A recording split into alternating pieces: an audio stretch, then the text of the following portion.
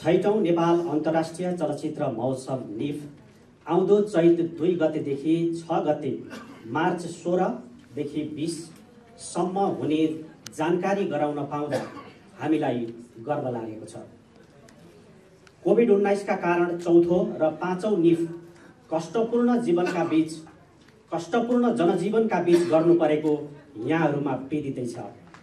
छैटौँ निफ दुई हजार तेइसको यो घोषणा गर्दै गर्दा अघिल्ला निफ जस्तो कष्टकर नदेखिए पनि परोक्ष रूपमा भने धेरै किसिमका कष्टहरू कायम रहेको महसुस गरिरहेका छौँ। यद्यपि प्रतिस्पर्धामा आएका चलचित्रको बाढीले भने हामीलाई उत्साहित बनाएको छ।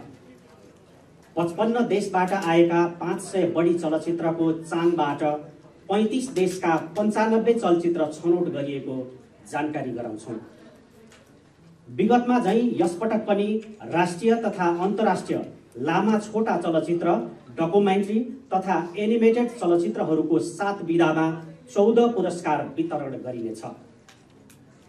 यसपटकबाट निफका प्रतिस्पर्धी चलचित्र सिनेमा हलमा प्रदर्शन गरिनेछ। क्युएफएक्स सिनेमासँगको सम्झौता अनुसार काठमाडौँको छाया सेन्टर र सिभिल मल ललितपुरको लभिङ मल र भक्तपुरको क्युएफएक्स सिनेमा हलमा चलचित्र प्रदर्शन गरिनेछ। विगतमा झै महोत्सवका रचनात्मक कार्यक्रमलाई विशेष महत्त्व दिइनेछ।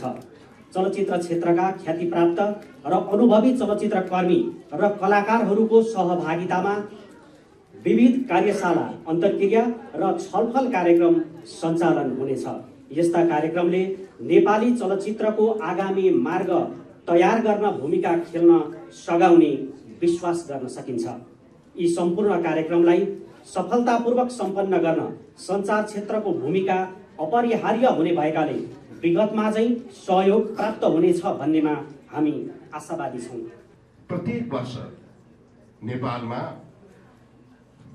तिन सय पैँसठीवटा भन्दा पनि बढी चलचित्रसँग सम्बन्धित गतिविधिहरू हुने गर्दछन्। वर्ष कुन बेला सुरु भयो वर्ष कुन बेला सकियो वास्तवमा एक्का नै हुँदैन। हरेक दिन केही न केही केही न केही केही न केही चलचित्रका नाममा भइ नै रहेको हुन्छ तर ती सम्पूर्ण घटनाहरू हाम्रो मस्तिष्कमा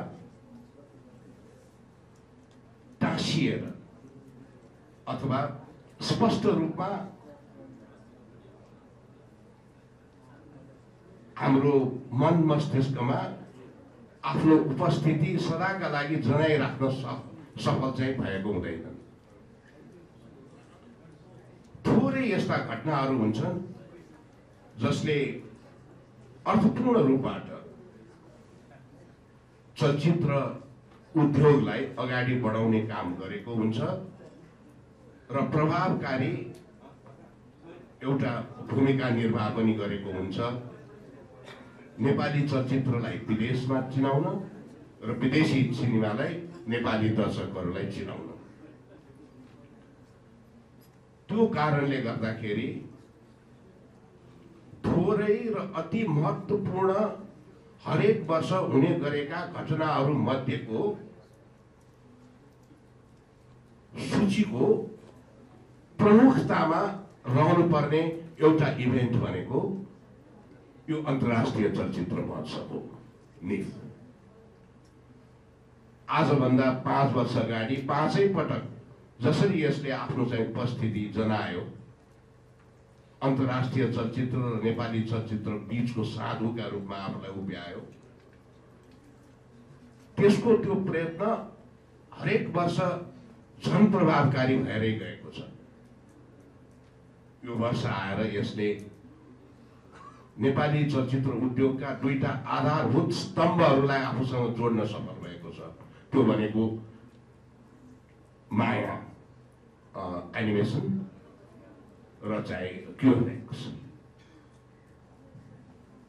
यो दुइटै संस्थाको नेपाली चलचित्र उद्योग अथवा चलचित्र उद्योगलाई नै अगाडि बढाउने क्रममा अत्यन्त ठुलो भूमिका रहँदै आएको छ जसका बारेमा चर्चा भने कम हुने यी दुवै संस्थालाई यसपल्ट आफूसँग आबद्ध गर्न निफ सफल भएको छ।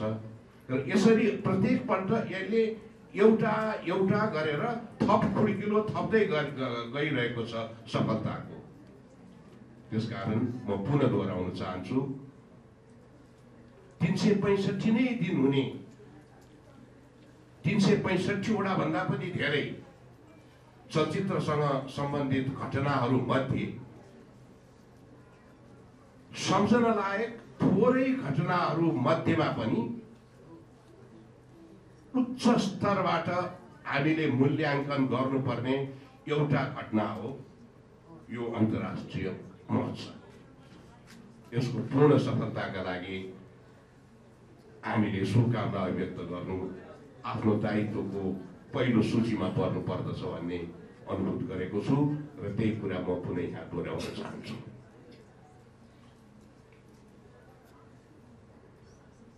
अन्तर्राष्ट्रिय स्तरका गुणात्मक दृष्टिकोणले जुन प्रकारका सिनेमाहरू अन्तर्राष्ट्रिय चलचित्र महोत्सवका दौरान दर्शकहरूले हेर्ने अवसर प्राप्त गर्दछन् त्यो गर्नका लागि एउटा मानिसले आधा जीवन खर्च गरेर करोडौँ रुपियाँ खर्च गर्दा पनि प्राप्त गर्न नसक्ने खालको अवसर हो। त्यो अवसरलाई हामीले कसरी बुझेका छौँ? त्यो एकचोटि हामीले आफैलाई सोद्धा पनि हुन्छ। सिनेमा हेर्न पाइन्छ। हजारौँ युट्युब च्यानल्सहरू छन्। ए ठाउँ ठाउँका चाहिँ सिनेमाहरू आइ नै रह हुन्छ। फरेन फिल्मसहरू हेर्नका लागि हामीलाई केले छेकेको छ? र भन्ने मनस्थिति होला। तर त्यसो होइन त्यसकारण मैले सुरुमै एउटा एब्जेक्टिभ जोडे गुणस्तरीय। विश्वभरिका यति धेरै गुणस्तरीय सिनेमा एकै ठाउँमा बसेर हेर्न पाइने विश्वमै थोरै ठाउँहरू मध्येको एउटा ठाउँ बन्न सक्यो काठमाडौँ। त्यो पनि अन्तर्राष्ट्रिय चलचित्र महोत्सवकै कारणले हुन सकेको र नेपाल पनि उत्कृष्ट सिनेमा बनाउन सक्ने प्रशस्त सम्भावना बोकेको देश हो भनेर अन्तर्राष्ट्रिय जगतमा पनि चिनाउनका लागि एउटा अतुलनीय योगदान गर्न पनि महत्त्वपूर्ण भूमिका निर्वाह गर्यो यो एकाडेमीले र त्यो इभेन्ट पनि बन्न सक्यो अन्तर्राष्ट्रिय चलचित्र महोत्सव र दिने कुरामा पनि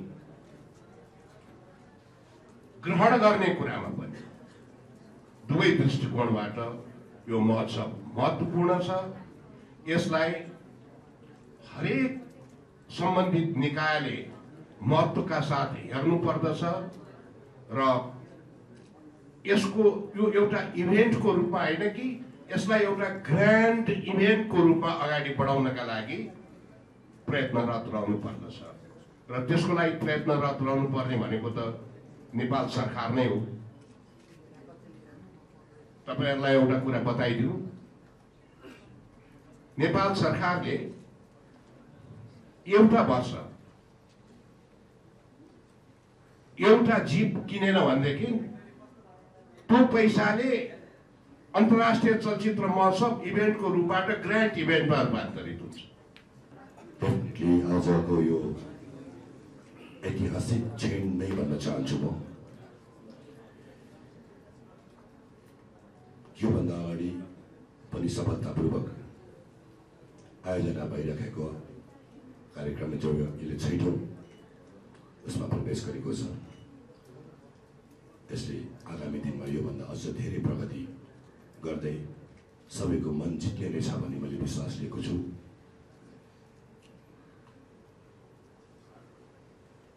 कल्चरल आदान प्रदान गर्ने उद्देश्यले एउटा देशदेखि अर्को देशसम्म आफ्नो कला संस्कृति टुरिज्म भाषा भेष सबलाई सँगालेर अगाडि बढ्ने पवित्र उद्देश्यले आयोजना गरिएको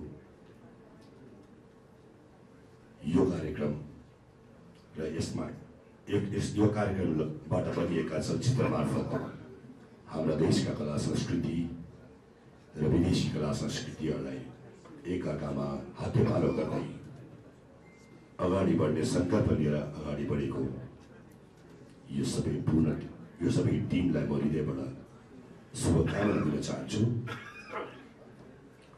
र केही सुझावहरू पनि आएको देखेँ। अभिनेत्री गौरी मल्लले पनि सही सुझावहरू आफूलाई लागेका कुराहरू राख्नु भएको छ त्यसै गरी निर्मल भाइले पनि राख्नु भएको छ। निर भाइले भर्खरै भन्नुभएको कुरा सरकार समक्ष जरुर पुर्याउँछु। त्यसै गरी अर्को खुसीको कुरा क्युएफएक्सले यसबाट छानिएका चलचित्रलाई हलमा लगाउने जुन प्रतिबद्धता जाहेर गरेको छ यसका लागि म सम्पूर्ण क्युएफएक्स टिमलाई पनि हृदयबाट धन्यवाद दिन चाहन्छु र आभार व्यक्त गर्न चाहन्छु। साँच्चै यो कार्यक्रम सफल पार्नुको लागि चलचित्र विकास बोर्डले सुरुदेखि नै केही न केही सहयोग र हातेमालो गर्दै आएको छ। यसपालि पनि गर्ने नै छ। र निरन्तर गरि नै रहने म बाचा गर्छु तर यसलाई सफल पार्नुको लागि अरू सङ्घ संस्थाहरू अरू एनजिओ आइएनजिओ ज जसले आफ्नो त ठाउँबाट आफ्नो सेक्टरबाट जति सक्यो त्यति सहयोग गरिदियो भने अझ यो कार्यक्रम अझ उत्कृष्ट र अझ भव्य भन्ने मैले सोचेको छु नेफको अलमोस्ट सबै कार्यक्रमहरूमा मैले पनि चाहिँ प्रत्यक्ष रूपमा इन्भल्भ हुने मौका पाएको छु र अन्तर्राष्ट्रिय जगतमा नेपालमा पनि चलचित्रहरू बन्छन् र नेपाल पनि एउटा चलचित्रको लागि उपयुक्त स्थान हो भन्ने कुरो यसले एउटा परिचय दिने काम गरेको छ र यसका सबै सेगमेन्टहरूको साथसाथै एउटा सेगमेन्ट चाहिँ मलाई पनि पहिल्यै हुन्थ्यो जस्तो लागेको छ। त्यो सेगमेन्ट चाहिँ डेडिकेटेड नेपाली फिल्म वर्कर्सहरूले आफ्नो चलचित्रलाई कसरी चाहिँ सुरक्षित बनाउन सक्छन् आफ्नो चलचित्रको लगानी कसरी उठाउन सक्छन् भन्ने बारेमा पनि एउटा सेगमेन्ट चाहिँ राख्दै हुन्थ्यो भन्ने मेरो एउटा इच्छा छ। फिल्मको फेस्टिभल या अवार्ड या सम्मान भन्नु नै कला र कलाकर्मीहरूको लागि एउटा ऊर्जा हो। त्यो ऊर्जा थप्ने काम केपी दाईले गरि नै रहनु भएको छ। म चाहिँ अघि सन्ध्याजीले भने जस्तै चौथो पाँचौँ लकडाउनको कारणले गर्दा धेरै उथल पुथल भयो। त्यही पनि दाइले छोड्नु भएन र छैटौँसम्म आइपुग्दाखेरि यो निरन्तर निरन्तरतालाई चाहिँ म सलाम गर्न चाहन्छु। केपी दाईलाई र सम्पूर्ण उपस्थित महानुभावहरूलाई धन्यवाद भन्न चाहन्छु। यो फेस्टिभल खालि फेस्टिभल मात्रै नभएर यहाँ चाहिँ बाहिरबाट आउनुहुने बडो